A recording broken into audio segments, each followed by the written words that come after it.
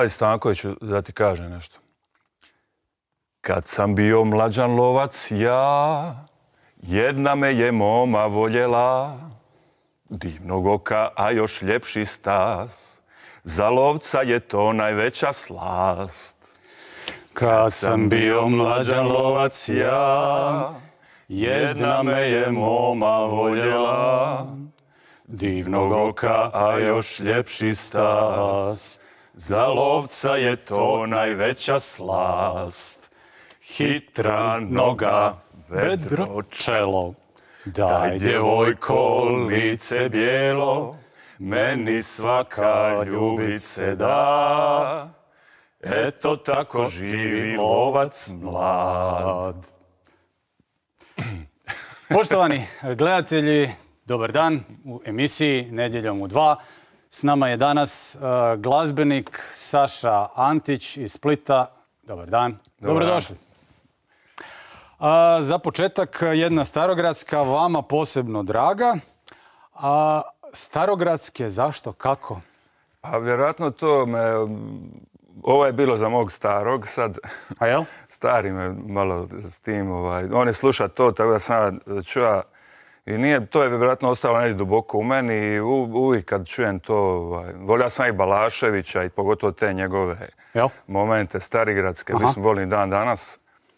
Pa Zvonko Bogdan i sve to skupa i Negdje, negdje sam čuo da, je, da su staro- starogradski kao aikido u, u borilačkim Je, sportovima. je, je. To mi je palo na pamet i stvarno, kako sam se ja bavio borilačkim vještinama, uvijek mi aikido mi je kao neki vrhunac. Ono. Jel? Jer je, nema napada, on, to je vještina samobrane. Sad, koje, koje veze ima sa starogradskom pjesmom? U, u tom momentu e, starogradske pjesme su pune emocija, pune strasti, a sve se onako odmjereno e, i dostojanstveno to izvodi i nema tu nekih divljanja na sceni. Sve, svi su jako staloženi, mirni, a unut događa se bura i emocija i drama i sva, svačega i ja- jasno i radosti i života i svega. bil to neki vrhunac karijere, bio neki album starogradskih?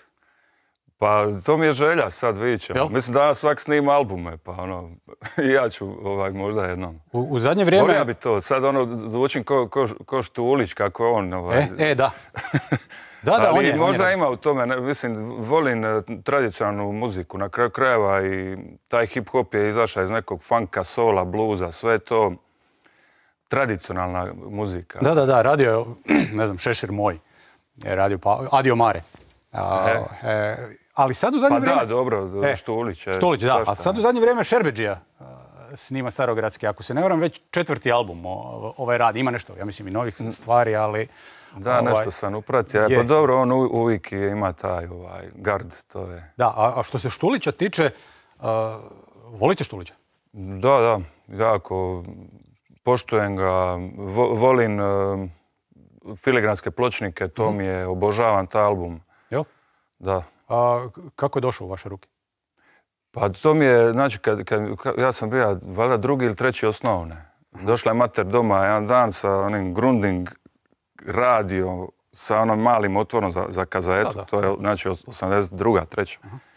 I kako je kupila to u dućanu gdje su se prodale i kazete, ka- pitala je šta sad slušaju mladi, ova je dala kazetu, ovaj, to je friško izašlo, filigranski pločnici. Da.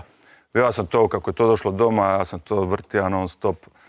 I nije mi to baš tad leglo. E, ja sam tad više volio ovako, jeli, Balaševića, možda Čorbu, više neki pušenje, više nešto što je imalo neki vic, neku priču, jel, ovako to mi je sve bilo, ka šta ovaj priča, jel, i kasnije mi je jako poslije, nakon dugo vremena opet e, taj album tako si ja, možda tek u mojim 30-im. I, i, I onda mi je, recimo, na, cover tog albuma je ta djevojčica koja je tad imala godina, vjerojatno ko i ja, ispred džamije, ovako ga gleda u čudu, tako to sam ja povezao nekako. I, ko da je Štulić bija i toliko ispred vremena da je napravio nešto što je ti klinci će jednom ovaj, shvatiti. A, šta je od Balaševića dobro? Od Balaševića mi je sve dobro. Ali onako nekako intimno najviše volim eh, njegove ove hu- humoristične. Aha. Jer tu zna onako uvijek a dobro, tu isto neki storytelling, stvar. ako se ne varam. Pa je, uvijek je Kao i u hip-hopu ima. Pa da, ono Boža zvani putuje- pub i mislim, e, A ono kad se putuje po Vojvodini pa se jedu oni, ali se neka dobro jelo baš pa... pa to, E. pa, pa onda ova sugar rap, mislim, to je ono, toliko, ja, to je rap pravi, ali to je slojevito, on se znači ruga i tad tim kombinatima i, i toj priči tada sindikalno i Da, da, koga je tjerao da ide u disko, ako se ne varam. Ma da, ej.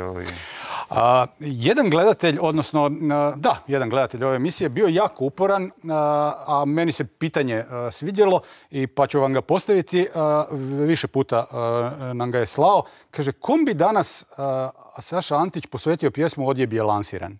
Jel to kao vrijedi univerzalno kao i kada je snimljeno ili danas nekom posebno? Ma dobro, mislim, ta, ta pjesma ima, to je jednostavno bila neka reakcija spontana, tad kad je napisana, to je 99-a, to je na albumu iz dvije, dvije Ima, ima, prošlo. tisućite, tako da je to, je, tako da je to onako, ovaj, ali evo recimo, mislim ta pjesma je recimo da, da ima posredno je utjecalo na nju e, pismo od Balaševića Namčor, recimo. Di je on grinta, ništa mu ne valja, Da, da, da. mada nije kod mene tu zaključak ovaj, ljubavni, više ono, Da, da, na, na taj društvenu neki situaciju. društveni aspekt. e. Ovdje e, ispred studija u redu su stajali e, ljudi sa savjetom, e, odnosno pitanjem, čupat ćeš riječi iz njega. Taj U ništa... redu su stali. U redu su stajali, imali su natpise. Kaže, čupat ćeš riječi iz njega, taj ništa ne govori. Pa pripremio sam se. I rače ovu uru nedjeljom u dva, ono, bauljam po, po stanu i, i pratim usput nedjeljom u dva. E, dobro, ovaj, čak i ste mi sami rekli, razočarat će se neki ovaj, kad me čuju. Pa uvijek će, svak će se sigurno razočarati, zato što ono, A dobro. ima različita očekivanja. Pustimo očekivanja, ali ono što, što, što želim pitati još prije nego što pogledamo prilog, kako je Saša pobjedio Aleksandra? Dakle, Pa uvi- zato što je Tako to lijepo mene, ime. ha, o- meni je čak e, trebalo to u onom rodnom listu pisati i jedno i drugo, Aha. jedno i drugo. Pa u nekom momentu sad treba odobrati jedno, valjda ono 90-ih. I Odobra se Aleksandar kao za osobnu, ali je ono Saša, Saša ostalo. Mislim, tako su me zovu od uvijek. Dobro, u školi su me zvali Antić, ono. Pa dobro, klasika. Tako da, ono. Ja, ako mogu biti dovoljno slobodan, ja sam uvijek imao taj problem, nisam znao je li Saša muško ili žensko. Onda sam rekao, nemojte me zvati Saša. Stvarno dobro. Očigledno ste vi u Splitu po tom pitanju nešto više e, feministički orijentirani. A Carmen Šore, 5 minuta 10 sekundi, prilog e, o našem današnjem gostu, Aleksandru Saši Antiću. E, ovoga maloga šapiva, ej. A Sažu Antića znam, ono, iz ulice, bija je, znam od kad je bija dite, od kad je bija voliki. Znači, nama starima i uvijek mi smo ga slali, ili tri stali da krade duvan, pivo nama, ali zato smo ga štitili, pazili na njega, mali je bija vrlo impulzivan. Može bit da sam potrošio i ono malo suza Za navodnit dolinu se daha i bluza Svi Došao je dečko koji je ovako simpatično izgledao, na prvu malo je bio e, drugčiji, znači imao je dugu kosu, maramu, maramu preko kose i došao je u klub i to se ispostavilo da je Saša Antić. Znači, ovo su kvart Blatine, a ja bi dodao Blatine škrape. I ovaj, puno nas je tu, ne da nas je puno, nego je puno žanrova tu. Tu smo bili, znači, ja i Badovinac, Mladen? Isli Portun, moj brat, Saša je tu isto kvarta. Tu vidimo, ovi neboderi su Belan, jučer sam baš bio s njim, Neno Belan, dalje je Hrepić, tamo je Dražen Zečić škrape, znači to je, vidite koliko žanrova, jel?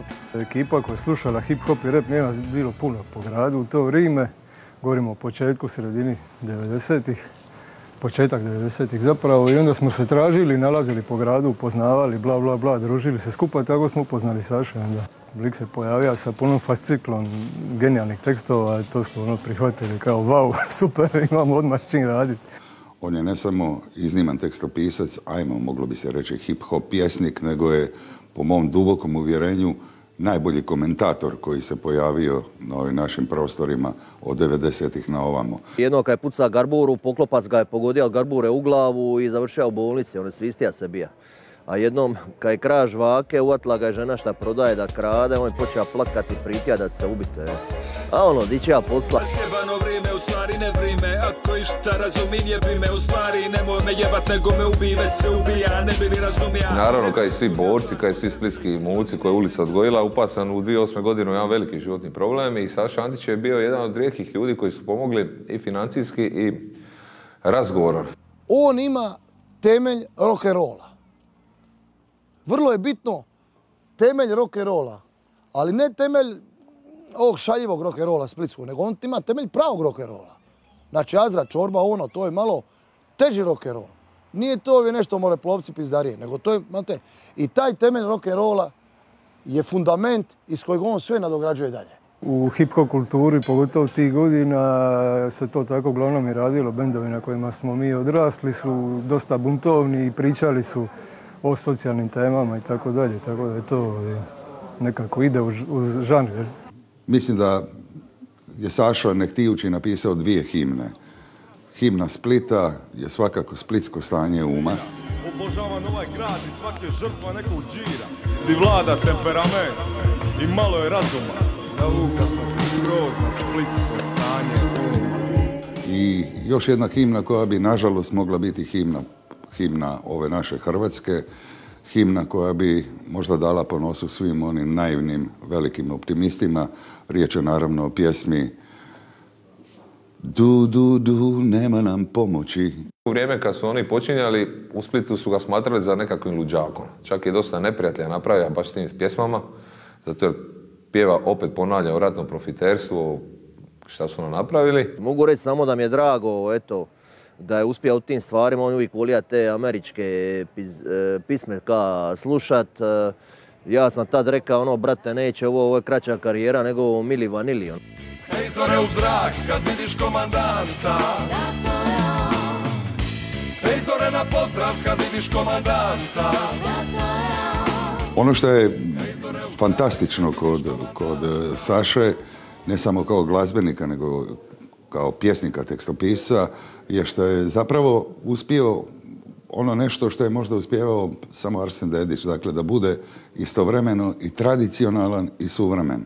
Da bude i lokalni, da, da, bude, da se referira na lokalno, a da to lokalno bude i opće. Znači, Saša to radi, uh, ono, šmekerski, malo perfidno, promoćurno, oprezno. On točno zna, on je inteligentniji no što vi mislite. On točno zna dokle treba da ide. Saša, moja poruka, opusti se, skoro se opusti. Opusti se i uživaj. Drago mi je da uspija, za vas je uspija u pismi, a mi koji ga znamo osobno iz ulice, kaki je, šta je, nama je uspije šta se on uspija oženiti uopće. A zašto vam je čudno da se on uspio ženiti? Pa jesi ti slušala sad šta govori, ono, garbura u glavu, kraž vake, ono, pa bi se ti udala za njega, evo iskreno reci, ono.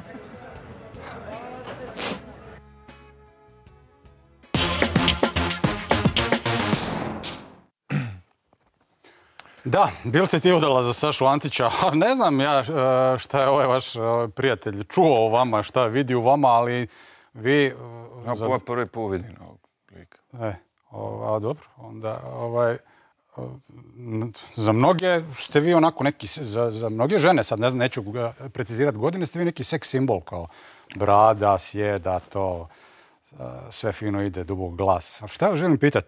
Vuco, što biste vi rekli u Splitu, pari ko Mišo Kovač kad priča. Ono, objašnjava ovako. E, pa ima, ima malo, ovaj, on je definitivno ono čovjek iz naroda, ima taj nastup, ali u isto vrijeme jako jedan inteligentan i konceptualan e, umjetnik, gdje bi ga čak ja usporedio sa Rambo Amadeusom. E, ali ne može niko ostati ravnodušnim. Mene osobno diže mi raspoloženje, ima taj u sebi tu jednu energiju, e, sjajan je muzičar, gitarist, pjevač, e, tekstovi su mu odlični, e, kreativan je, produktivan, No, ono, Jo, ne, show- show- nemojte showman. mi ga više hvaliti, E. neću ga se sad moći pa riješiti. mislim, govori realno. A, da dođe u nedjeljom u dva, sva su mu vrata otvorena, a, ali ovako prije jedne e, nove godine kao vi a, danas, inače se moram baviti e, ne- nekim puno neozbiljnijim stvarima. A šta je Garbura? Tu se Gar- spominje u prilogu Garbura vas je pogodila u glavu. Garbura je po- poznatija isto pod nazivom Ka- Karabit na kontinentalnom dijelu. E, Ne znam koliko ljudi, ne znam, u Zagrebu to znaju za to. Ovaj, pa zna se valjda sigurno. Mislim, kod nas je to ono u Splitu tradicionalno. To, to je neki, a neka rudača koja na sumpor smrdi i reagira sa vodom, pušta taj zapaljivi plin i to se stavi u neki važ ili u, može, znači vari- varijacije su od e, ove kutije cedevite do važ za recimo kiseli kupus, šta se isto radi. I to vas je u glavu Da. pogodilo. Ne, ne taj veliki, ne, nego ovaj manji jedan va, važ je bija, valjda, ba, oni, to su oni limeni va, koji imaju oni poklopac. Da, da, to malo me onako strišalo, krznilo, a nepažnja, nije ništa sad. Nećemo E. a, djecu koje danas gledaju emisiju. A t- mislim, to je bilo vrijeme kad nije bilo ovih petardi, danas se ovaj, te petarde kupuju. Evo sad, mislim, neću to ništa Ne, pa reklamirati, to. ovaj, ali meni je bilo, vidi, tad petard, ono, Minervu ili Sandokan, to, to je bilo ka ludilo, čuvalo se ka, i ova jedna za ponoć. ono. Borilački sportovi. Jel to ide uz vas? Danas e, onaj ko vas gleda, e, sluša vaše pjesme, može si pomisliti, premda ne mora biti tako. Saša Antić i borilački sportovi, kako to? To je neki pacifist, čovjek koji u, u- u ovoj fazi života e, širi mir i dobro. Pa dobro, pa mislim, borilački sportovi jesu u suštini vještine samobrane i vještina eh, koje su više, imaju jednu, kroz te svoje, znači ja sam tekvando trenirao i pr- prvi dan sam crni pojas. Eh, Bitne su, nije samo bitno je li tu taj borba, udaranje, bitan je taj jedan meditativni dio, te forme, taj neki, um, kako bi rekao, te vještine sve izviru iz, ne- iz nekih prirodnih elemenata, iz prirodnih sila. Tako Šta su vam rekli, evo sad okrenem pilu naopako, šta su vam tada na ulici rekli e, u Splitu? Kako je to borilački sport, nema kontakta, šta je to? E, Tekvando, pa ima kontakt. A kako mislim, ali da. propagirate ovako kao sport od... od, od Pa evo, dobro, Aikido mislim, ste spomenuli. Pa bilo bi, mislim, to je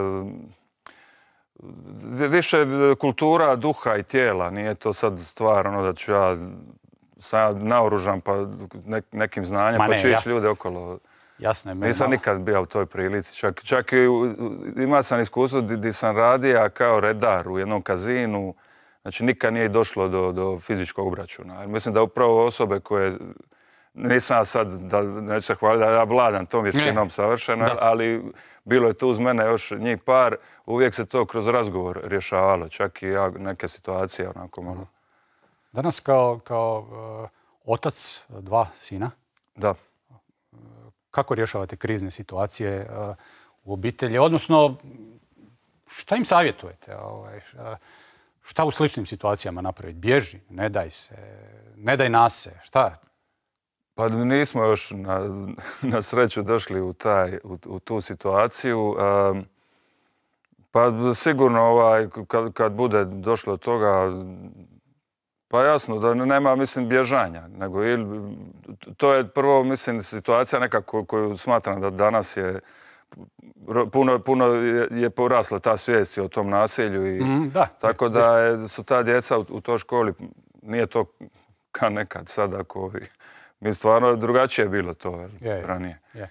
I to vršnjačko nasilje je puno prije bilo izraženije, odnosno nije bilo ni mobitela da bi se snimalo i da bi se kasnije... Ovaj, Pa sad e, ima toga, nažalost, možda kasnije, ili ono, u nekoj srednjoj školi, za sada su još mali, osnovna škola, pa još nije. Ali si- sigurno da ovaj, malo s njima vježbam, imamo tu aikido, to zovemo, to je onako i... A, kaže, ajde da se, da se prema ostajemo u Splitu, a, citirat ću Vojka, kaže Vojko, a sad kad govorimo o mladima, a, više kod mladih bendovi kao TBF ne prolazi. Pa dobro, Vojko je to, to je izjavio, da. Možda je više on to izjavio u nekom sljedeći tu svoju neku priču tog nekog novog vala, pa amo raskrstit svojim starima. Pa, tako kao, i treba e, uvijek, e. E, pa mislim tako treba, jasno. Ali sada neće niko slušati, mislim, to je... Ko ne, ne može on to znati. E, što kaže vaš stručni uvid u to? Ovaj, kako je publika TBF? Pa ja na našim koncertima vidim uvijek e, i mlade i Mhm. znači ono od srednje škole, stvarno do, do, znači ono doba kad se može ići na koncerte, znači stvarno mladih, 17-18 pa do do kad ljudi idu na koncerte, do svojih inače- 40. E, tržište vam je Hrvatska ili dobacujete šire od Hrvatske? Pa odsviramo u BiH isto ove gradove, vamo Srbija, znači Beograd, Novi Sad, to je to. A, ovo vas pitam zbog toga jer izdali ste samostalni album, to je zato što ste... I pardon, bili smo u, i u Kotoru, E, da ne zaboravim. A, Izdali ste samostalni album, a, to je zato što ste se malo zasitili TBF-a, zato jer a, se, poste- se TBF posvetio nekim drugim poslovima ili što je razlog? Pa ne, mislim, ja sam već 2007. imam jedan album pod, pod ovim pseudonimom, e, a inače pseudonim Bojendija koristim od 2000. I imam gomilu stvari, gostovanja, e, pod tim pseudonimom. Taj prvi bija, znači jednostavno se skupi nekih pjesama koje onako stoje sa strane, koje ne realiziramo u bendu. U bendu ne, legne- ne legnu ili neke moje skice muzičke koje već počnem ili tekst nije skroz a meni je to, jako su mi drage i želim ih dovršiti. To mi je... Kad će krenut lova od tog albuma? Znate zašto vas to pitam? Od škrinje, evo. Kritike su koliko vidim dobre, ali kritike često ne utječu na, na, na, na slušatelje, odnosno gledatelje. Recimo pjesma koju smo ovdje vidjeli, Gang Bang, ko će to puštati na radiju? Ma nema, mislim jasno da to, ja nisam ni očekivao da će se to puštati na radiju, ta pjesma, ali je bilo napeto napraviti spot, znači redatelj spota je Dragan Đokić, e, super ideja je bila, super moment, e, nekako se poklopilo, mada je pjesmu sam napisao prije dvije godine, ja mislim. Aha, dobro. Dobro, ovaj, ja, neke stihove sam doradio malo di se konkretno odnosi jel, na ovu pandemiju. Ali ovoga, a mislim, lova je jedino od svirki, tako je i s TBF-om. Nema, E, nema, nema, nema prodaje. Nema se- Dobro, autorska prava, malo i... Dobro, to je ZAMP e, dosta dobro sredio što se tiče a, ljudi koji su autori. Je, je, Da. pogotovo kad se usporedi to sa ono, BiH, Srbija, mislim, to stvarno možemo i biti zahvalni. Svi vas pitaju ovih dana, e, i ne samo vas, e, može li se živjeti? Sad krajem godine dolaze prihodi od autorskih prava. Može li se živjeti od toga? Pa ja imam, ja imam prihode, mislim, ja, ja sam u startu ušao u ovo bez nekih ono velikih ambicija i to je bila čista ljubav, strast. Ja dan danas imam taj amaterski pristup, ono, či- či- iz ljubavi. Mhm. Do trećeg albuma ja nisam uopće imao u glavi da ću se ja samo baviti s glazbom. Ja sam studirao do 2005. Što je bila alternacija?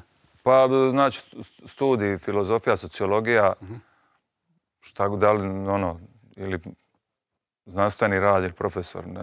Tamo sam bio tu se trebao odlučiti, ali je krenilo s trećim albumom i jednostavno nije, nije, ja sam, ja sam čovjek koji, ja stvarno svoju energiju ulažem u nešto što radim i doveo sam se u situaciju da u kombiju listam knjige, skripte i ne mogu biti on, ono najbolji na bini. Ovdje isto je to sve onako napola, i, i, a to me opterećivalo puno, tako da sam išao vamo. jel. Gadna nam je ova godina, svi kažu. Kako je vi ocjenjujete?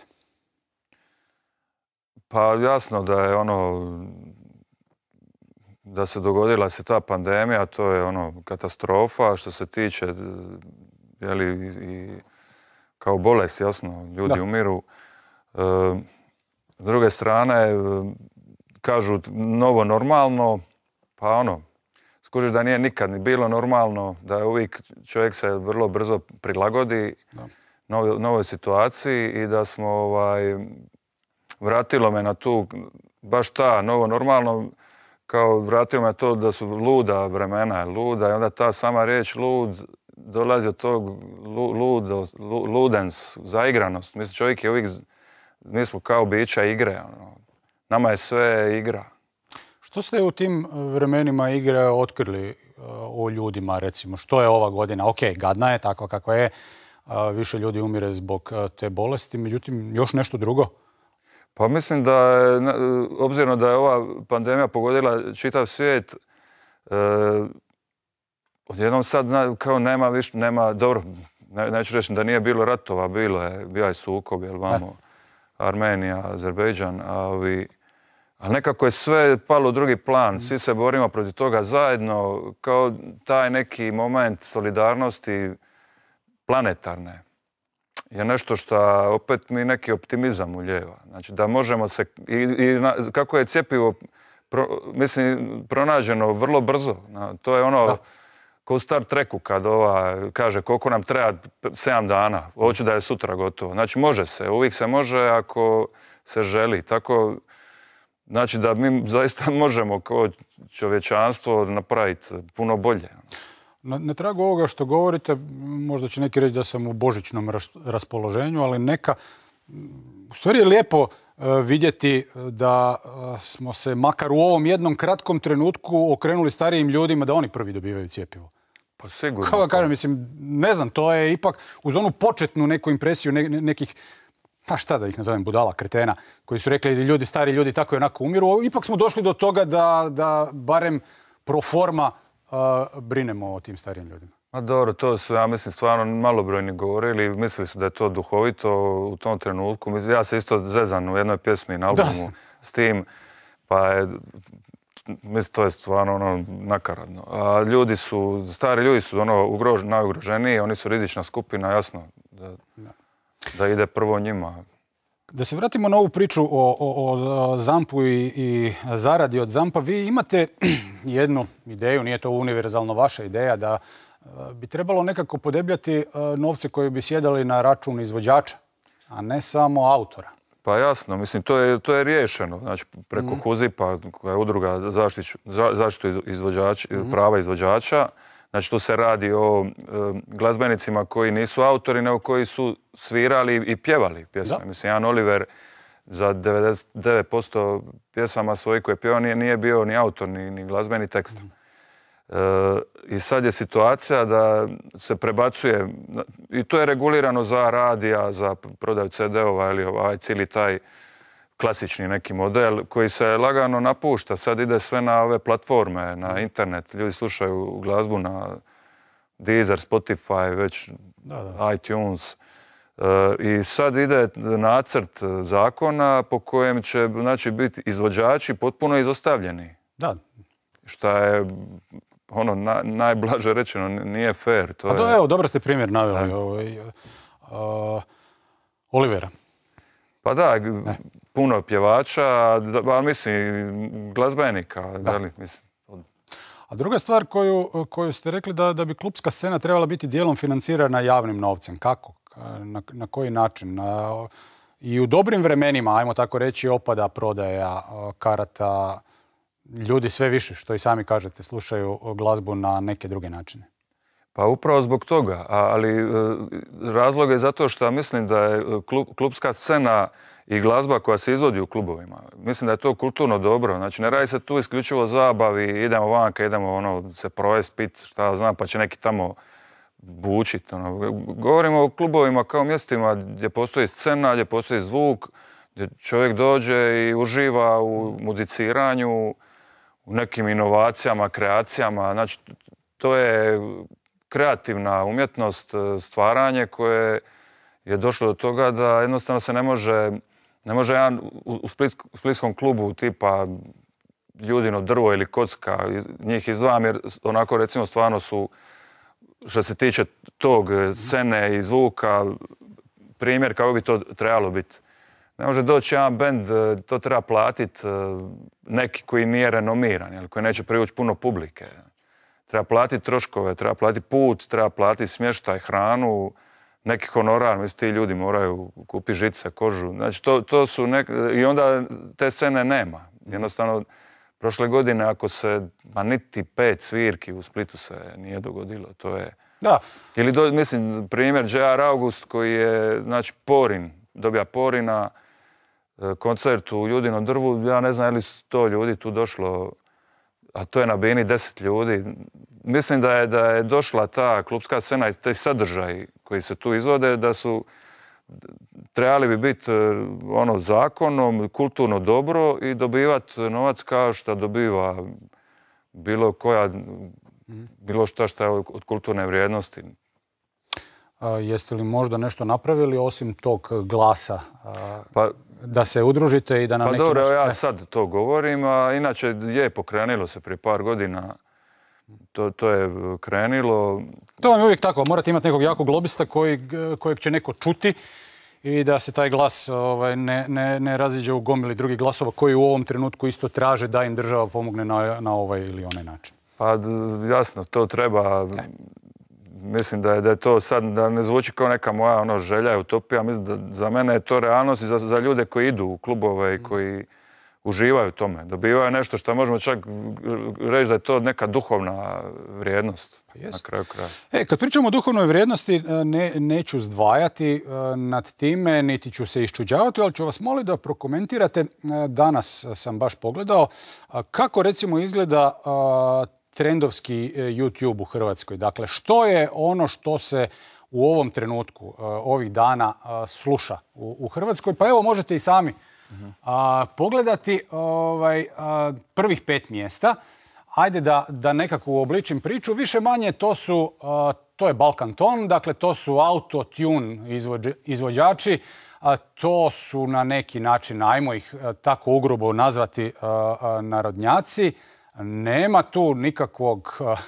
Nema, klub, nema. klub, nije klub, samo kafana. Samo kafana. Da. Samo kafana. E sad, Pa- ja, ja- kažem, ja neću zdvajati na tim, nego ću vas pitati da, da, da to prokomentirate. Pa eto, mislim da mo- možda se može nastaviti na ovo prethodno pitanje, upravo što to, ta klubska scena i što ta, ajmo reći, rock kultura, ali ja tu vidim naravno i pop, rock i hip hop, sve te neke, ono kako se zove, ur- ur- urbana glazba, e, ne mora nužno biti urbana, jasno, e, je zanemarena i ti klubovi su zanemareni, prepušteni tržištu, i jednostavno se dogodilo da imamo sad tu čitavu generaciju, možda i dvije, koje nemaju običaj uopće. Što kažete na tu novu generaciju? A, Mislim, ne, ne idu u klubu, ne, to nije dio njihovog ono uopće. Svjedočimo jednom no- novom žanru u, u, u, u, a, glazbi. Nije baš novi, već traje neko vrijeme. To su takozvane trep cajke. A to, to je nešto što je bilo turbo folk, kamo reći. Da. Samo je taj novi element tehnološki uveden. Ali ima tu dosta Taj- i repera. Pa ima, Što da. vi kažete na to? Pa mislim, to je sve neki prirodni razvoj, šta, i ono, i, i rock and Vama roll je nije nekom... padalo na pamet nešto e, negdje tako da, da e, neću reći ajde zastranite, nego da odete. Neki važni producenti u tom reperskom svijetu, e, Slobodan Veljković Kobi recimo iz, iz ovaj, a- a- a, Srbije, ako se ne varam, kaže da je radio muziku za repere cijeli život, ali veli od tog hljeba e, nema. Kad sam počeo raditi za narodnjake, shvatio sam tu su pare. Pa, pa isto je to bilo i ranije. od Da je, ono, da. Mislim, mi, mi smo s pjesmom Genije, recimo, se išli malo rugat tom em, dance cilom pokretu koji je ono Hara 90-ih, koji je sad, kad gledam ovo... A, pa divan je. e, da, Nostalgični smo. Ovoga je baš... jasno, mi smo od toga napravili ipak nešto drugačije, ali je to prvi naš e, hit, pr- prva pjesma koju su nas ljudi uopće primijetili. A imala je dijelom, ono, znači, rugali smo se i tom gardu reperskom, najbolji sam ja, kao ta hva- hvaljenje repersko, koje nam je isto bilo malo strano, i taj, ono, 1-2 ri- ritam, a, ovi, a danas je to tako, spojilo se taj folk sa repom, rep je kao način izražavanja vokalnog, planetaran. Ne, ne grozite se na time, ajde da tako kažem. Ne, Nije- ne, nije vam to to je meni ono kao bi rekao, di- dica se igraju i to, ja kao neko ko voli glazbu će kad tad ono, čut nešto što je, Doće do starogradskih kad tad. pa ne znam, Ili nečeg možda volija bi da ovaj, A, kažu da o glazbenim ukusima ne treba ovaj, raspravljati. A, jeste li vi isključivi u glazbenim ukusima? Ajde, konkretno pitanje. Recimo, a, šta mislite, može li onaj ko sluša Jasmina Stavrosa biti manje emotivan od onoga koji sluša, ne znam, Amiru Medunjanin? Pa ne, ne mora biti, samo možda na drugi način on te emocije ispoljava. Njemu nije glazba toliko bitna.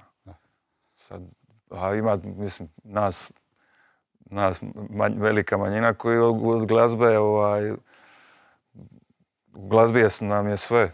Ja, sam, ja meni je sve, u glazbi ću pronaći sve odgovore koje tražim. Na Jel nalazite, jel nalazite šta u glazbi, sad svi su očekivali to pitanje, postavit ću vam to pitanje, neću inzistirati previše na njemu, jel nalazite šta u glazbi Thompsona? S Pa, obzirom... čak evo, mislim ja kad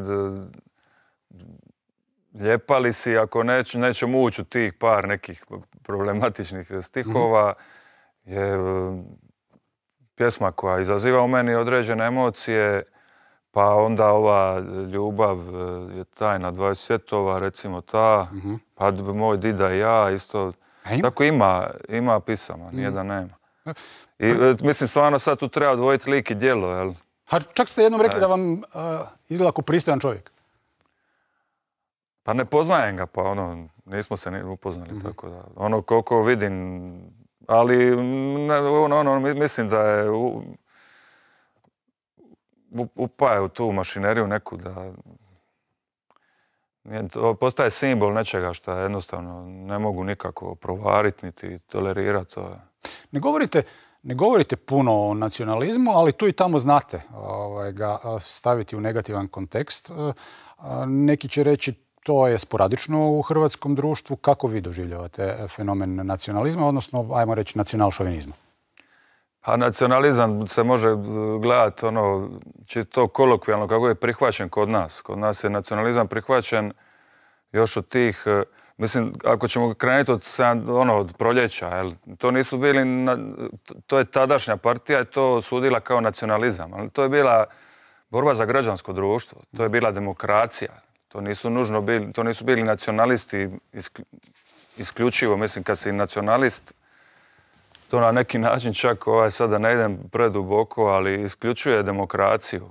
Demokracija je nešto što prihvaća sve jednako. A i onda je jednostavno taj nacionalizam, danas će čovjek koji je domoljub će reći pa ja sam nacionalist. Mislim, to nije isto. Nije isto. Sad, to je tema jedna koju je super obradio Kangrga, ono, baš u knjizi Nacionalizam i demokracija. Da, on je tu, on je tu zaoštrio. Vi ste Pa, studirali e. filozofiju, on je tu čak zaoštrio stvar. On je i, i bio i protiv a, patriotizma. Ne da je bio protiv patriotizma, nego mu je pripisivao a, negativno značenje, jer je tvrdio da je isključiv u svoj Pa da, patriotizam. kao svaki izam je E, isključivost tog pojma. jel? Da. A, e da, sad a, filozofiju kad smo a, spomenuli, a, prošlotjedna gošća je bila pjesnikinja Monika Herceg. Imala je lijepe stihove.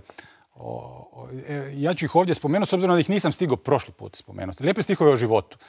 E, kaže onako, veli ona da je, da je život pokušaj strpljenja za kipuću vodu, povjerenje u podizanje tijesta i voljenje polja koja uporno presušuju. Meni je lijepo. Pa je, lijepo je, lijepo je. Da, onako, da. Kad smo stavili na Boravimo svi u, u, kuhinji, to je, to su ovaj... da kad gledaš, čekaš da... Pa je, ovo pogotovo ovo za kipuću vodu. Ja da. obično je stavim pa se makne, idem raditi nešto drugo. ovaj, pa. A, pitam vas to zato jer kad smo stavili vaše neko razmišljanje e, o životu na Facebooku, a, gdje kažete da čovjek prije svega treba paziti na, na, na, na svoje tijelo, zdravlje, imunitet, smanjiti slatko i masno, kretati se i, i tu i tamo pročitati neku knjigu i biti pristojan sa susjedima, to je ono 2000 lajkova smo dobili ko nikad. Pa to je kraj b, filma Smisao života Monty Pythona. Mhm. Tako završava. To, to, to je to. Mislim da još to nešto izostaja. Gledati manje TV. Jel? To, to ne smijem sad. E, a ba možete, šta? A šta, vas, šta ne volite na TV-u? Pa ne, to je u, Da, to na kraju tamo. filma Pythona. Da, da.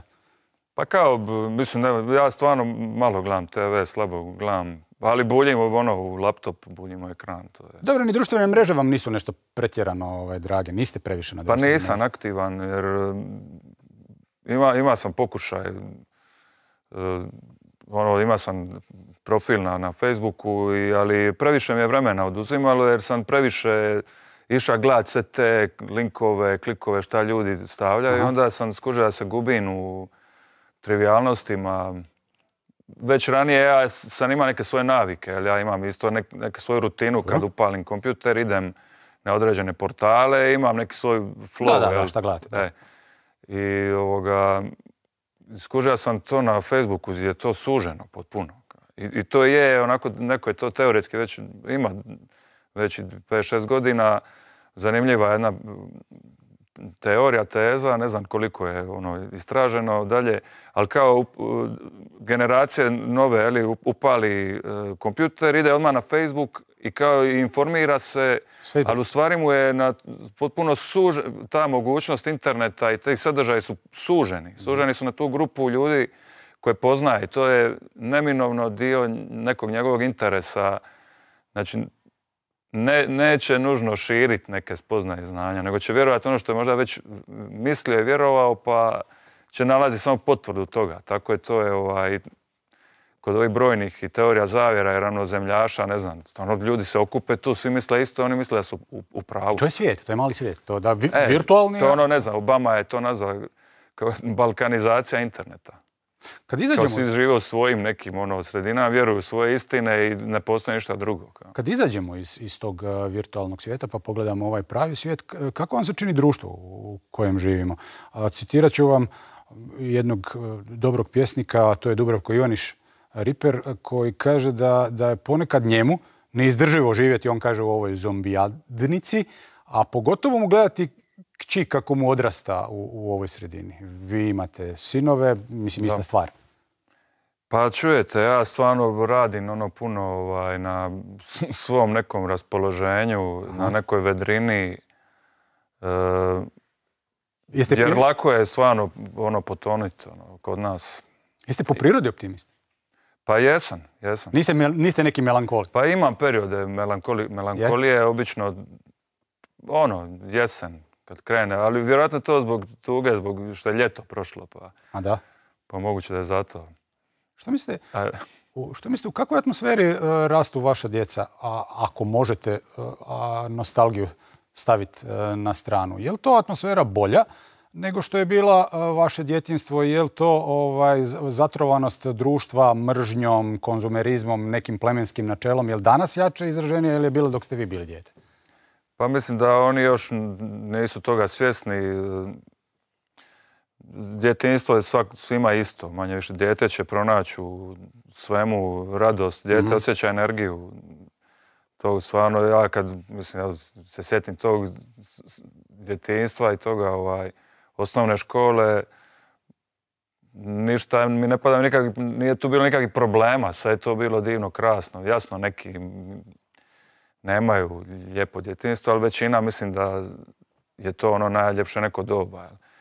A kasnije, jel, kad već krenu, ja se nadam da, ono, ali konkretno ovo sad situacija kod nas, a ne znam što, isto op- optimist jesam, e,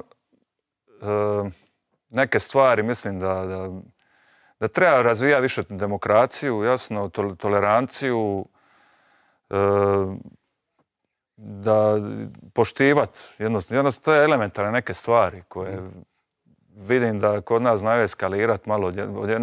Pronalazimo vrlo lako neke neprijatelje.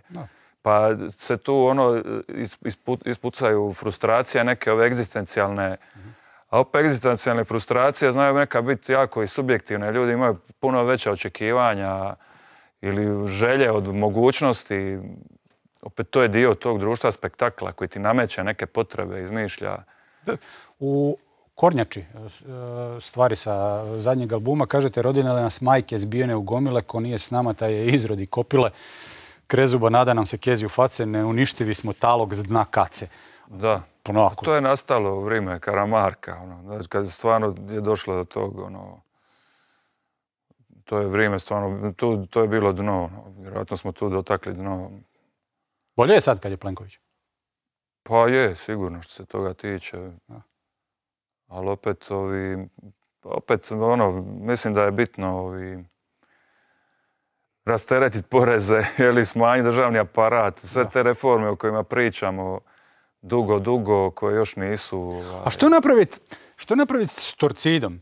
Znate zašto vas to pitam? Primijetio sam da ste, da ste e, dosta jasni u izricanju kritičkih stavova i o društvu i o, svemu onome što vas tišti i tako dalje, ali kad govorite o tor- torcidi nalazite riječi opravdanja, a, barem kad, kada su vas novinari pitali, za, za, za, za, za tu navijačku skupinu generalno, ne za svinjarije koje rade, ali kao rade oni i dobre stvari. Torcida.